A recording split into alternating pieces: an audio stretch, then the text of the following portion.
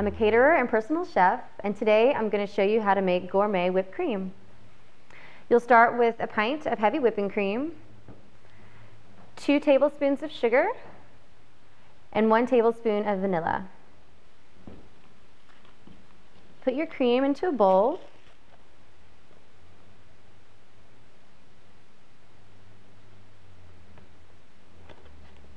Add your sugar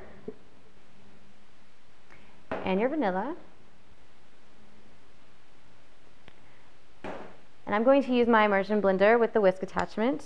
You can also use a stand-up mixer or a hand mixer, or you can use a whisk if you'd like. And then blend until you get soft peaks.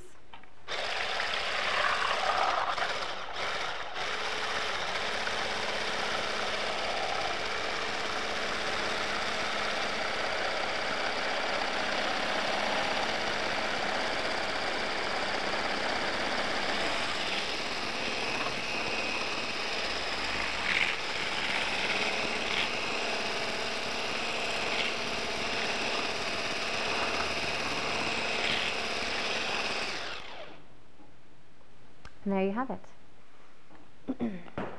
In just a few minutes, you'll see that the cream has now become semi-solid. You can use this on your pies or cakes. You can also use any type of flavoring if you like. You can use mint or a liqueur or cherry. You can also make this different colors by adding any food coloring into it. It's a really great topping for any dessert. I'm Daneen Green, and this has been How to Make Gourmet Whipped Cream.